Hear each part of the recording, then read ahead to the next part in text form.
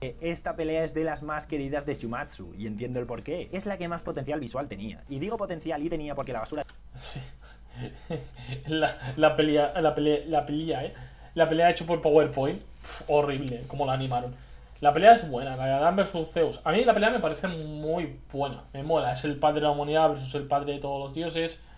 La frase de Adán de diciendo de básicamente, ¿acaso un padre necesita una razón para proteger a sus hijos o algo así?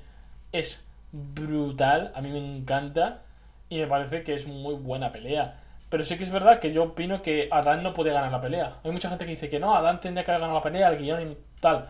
Yo a primeras os digo, recordemos que Zeus no utilizó su arma divina. En ningún momento de la pelea lo utilizó. Por tanto, le faltaba parte de su poder sin ningún tipo de dudas. Eso hay que tenerlo en cuenta.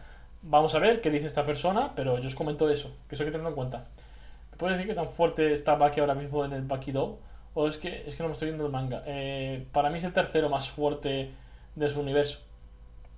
Yo digo que su macho necesita una remasterización. Joder, ¿cuánto hace que salió el anime?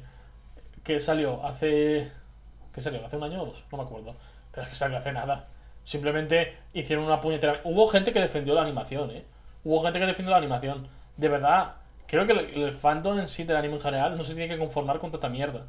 A veces.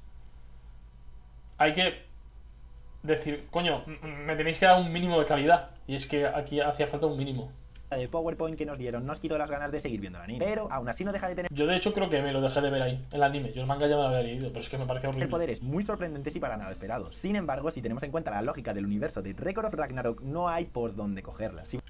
Bueno, a ver, ¿lógica? ¿A qué se refiere? Porque la lógica en Record of Ragnarok es un poco cada personaje sigue una lógica. Vas a ser parte del fandom que le da igual lo que le diga y me va a insultar en los comentarios, te animo a que vayas empezando a hacer. Pero si te preocupa qué es lo que voy a decir de tu pelea favorita, quédate en el vídeo a ver si entre todos podemos sacar algo en claro.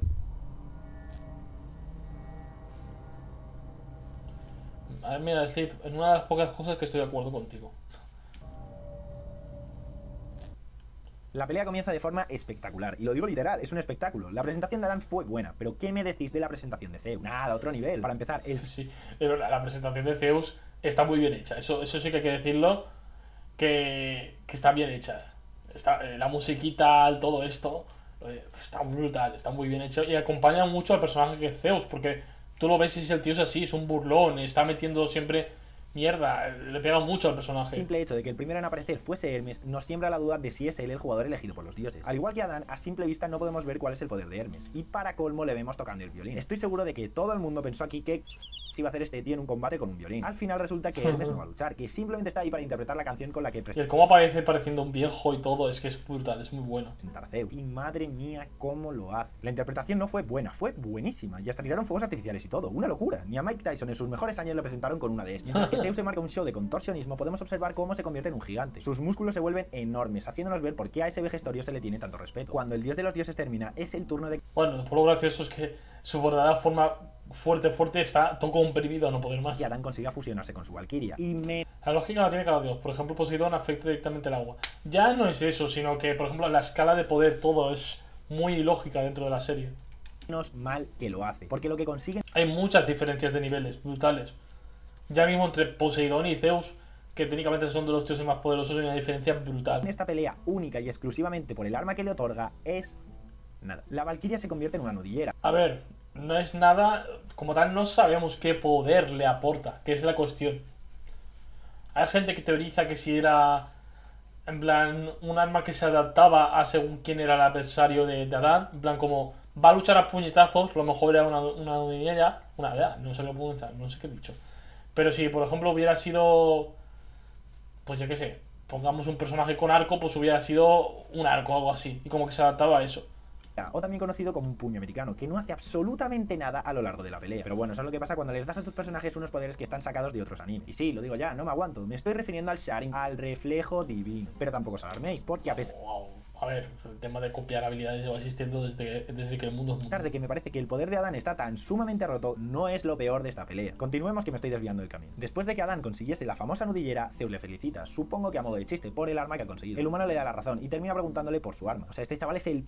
Vamos, no solamente pretende luchar contra el dios de los dioses a puño limpio, sino que justo después de que se convirtiese en un transforme, le dice que qué va a usar para poder luchar en el combate. Nah, mis dieces, ole sus patatas del tamaño del Valhalla. Acto seguido comienza el combate. Zeus empieza a dar saltitos en el sitio y termina su baile sabrosón con un puñetazo de una centésima de segundo. Adán lo esquiva perfectamente y nos sorprende bastante porque hasta entonces no teníamos ni idea del poder de sus ojitos mágicos. El dios, al ver cómo su rival pudo con eso fácilmente, le felicita, pero comienza a estar puñetazos cada vez más rápido, hasta acabar Vale, sí. Ok, por ahora todo lo que está diciendo es correcto. No se está definiendo la pelea sin más. Ah, veremos cuándo es lo que no tiene sentido. con dos de sus técnicas. El jab meteórico, que consiste en una lluvia de puñetazos a una velocidad descomunal, y el hacha divina, una patada baja justo cuando está esquivando el resto de los golpes. Adán vuelve a esquivar perfectamente todos los golpes de Zeus y nos enseña por primera vez sus ojos rojos. Aquí, el que ya haya visto algún otro anime cuyo nombre no voy a decir, ya se puede oler cuál es el poder de los ojos. Pero tranquilos, que si estabais dudando, ahora Adán os lo confirma en un ratito. Zeus procede a felicitarle por su gran hazaña, algo que no es nuevo en la pelea. Ese viejo será un pervertido y todo lo que tú quieras, pero agradecido es un rato. Le dice que está muy bien, pero que escapar de esa forma no va a serle de ayuda. Y tiene razón, en ese instante solo sabíamos que Adán tenía el poder de esquivar cualquier clase de golpe. Sin embargo, no teníamos ni idea de cómo iba a poder hacerle daño a Zeus. El grandote hizo dos técnicas espectaculares. Vale, no sé. Por ahora se hace un resumen de la pelea, así que poco puedo aportar. pero prácticamente no se cansó. Si el combate seguía de esa forma, iba a ser interminable. El que Adán quisiera conseguir la victoria supondría que tenía que acercarse tarde o temprano. Pero llegó el momento del crossover. Adán le responde Tranquilo, baba, ¿es que no has visto mi Sharingan? y comienza a hacer exactamente la misma técnica que hizo Zeus. De verdad, os prometo que no me gusta comparar poderes de unos animes con otros. Pero a ver, quiero decir, vale, sí, su habilidad es copiar, pero. Es que el tema de copiar habilidades, ¿en cuántos animes existirá? Ni mucho menos Existen, ¿no? En pocos. Pero es que no tuvieron escrúpulos. Literalmente lo hicieron clavado. Son dos gotas de agua. Los principales poderes de los dos Y aparte, animes con poderes en los ojos también hay muchos. Quiero decir, tampoco me parece algo trascendental como, como nada. Quiero decir, sí, está, estará, estará basado, habrá cogido referencia. Por lo más seguro es que sí, al final Naruto es Naruto. Pero quiero decir el tema de poderes en los ojos, no sé. Code Geass, por ejemplo, el, el, y todo esto tiene poderes en los ojos. Así que se me venga a la cabeza así de primeras. Eh, Anos creo que también tenía un tema con los ojos, si no recuerdo mal. Los tipos de ojos son los mismos. El poseer una visión insuperable que sea capaz de esquivar cualquier cosa y el poder imitar los movimientos de sus rivales a la perfección. Lo peor de todo es que su limitación también es la misma. El cuerpo de los usuarios de estos ojitos sufre mucho cuando los utilizan de una manera muy continuada. Es que me niego a llamar a esos ojos Hombre, pero no sé, a mí la explicación que me dan Adán, el por qué lo que tiene, porque supone que...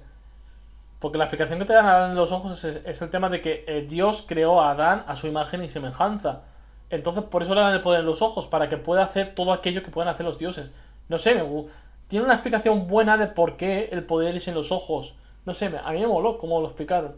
Creo, lo veo bien en ese aspecto.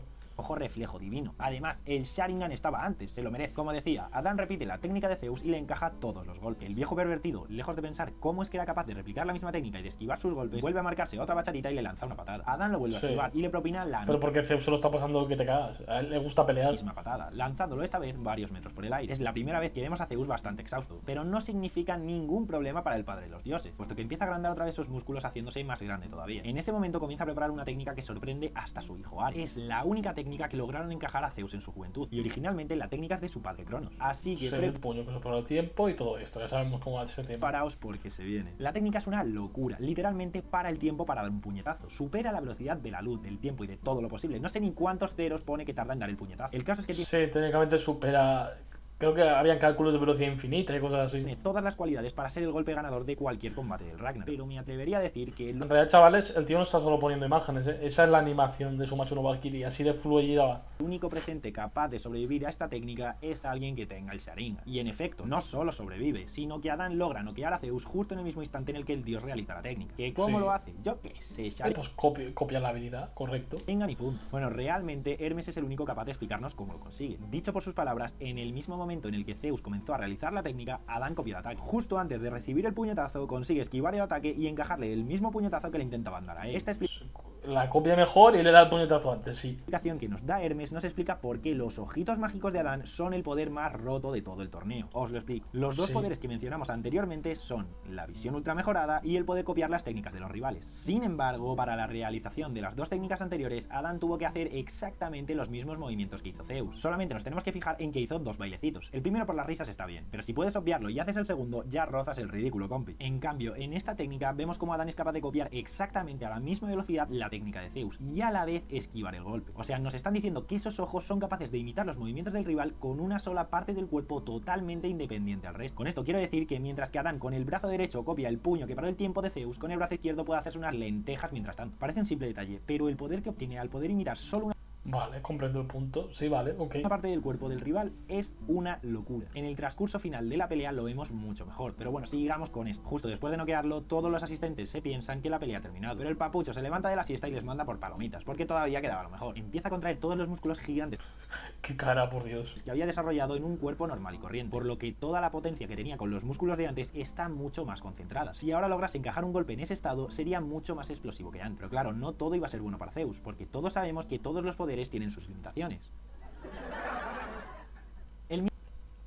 Ha usado el chiste par demasiadas veces. Unas cuantas demasiadas veces. El mismo Hermes nos advierte de las limitaciones de la forma final de Zeus. Nos dice claramente, en ese estado de forma, Zeus podría aguantar unos 12 o 13 minutos, pero después de haber recibido tanto daño, yo diría que solo podría aguantar 5 o 6 minutos. Quedaos con este Vale. diálogo porque os lo voy a recordar ya mismo. La batalla continúa y Zeus se lanza en su forma damas a dar super puñetazos con la potencia concentrada a Adán. El humano, como ya es costumbre, esquiva todos y cada uno de los puñetazos que le lanza. Pero no solo eso, sino que mientras logra copiar todos sus movimientos y encajarle 10, 20, 30 puñetazos, a saber la cantidad de puñetazos que logró plantar Bueno, 20, 30 o 20 millones, yo qué sé. Iba a una velocidad de eso tremenda, pero sí. en la jeta del dios. Y justo esta es la mayor cagada de esta pelea. ¿Recordáis el diálogo de hace un minuto? Zeus pasó de durar 12 minutos en ese estado de forma apenas 5 por los golpes que había recibido. Hasta entonces, los golpes que había recibido eran el jab meteórico, el hacha divina y el puño que paró el tiempo. Son muy potentes, sí, pero obviamente la narrativa nos ha dejado bastante claro que los puñetazos en la forma damas de Zeus son mucho más potentes que el resto de los golpes que soltó antes. Directamente, cada puñetazo que suelta en esta forma se llama la verdadera derecha o izquierda de Dios. Es la Sí. verdadera. O sea que todos los golpes de antes eran falsificaciones, copias hechas en China. Un golpe de estos te manda al otro barrio en milésimas de segundo. Sin embargo, por más puñetazos que recibe Zeus en ese estado de forma, no colapsa ni una sola vez. Es más,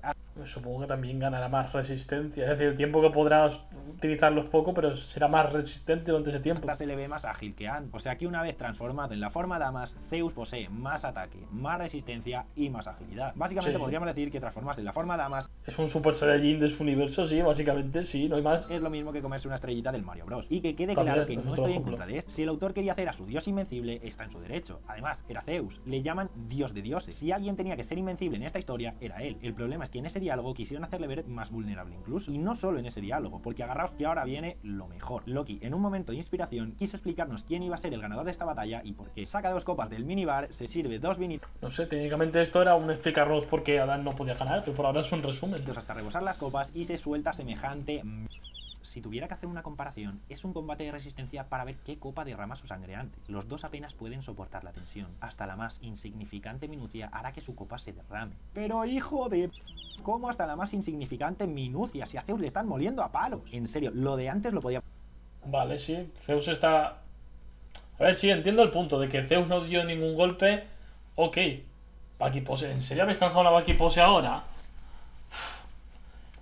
De verdad creo que algún día quitaré las Baki. ¿Cuál metal? La expectando la patada, pero... Joder. Voy a la expectando la patada. Es que... Es que aparte me lo pone fácil.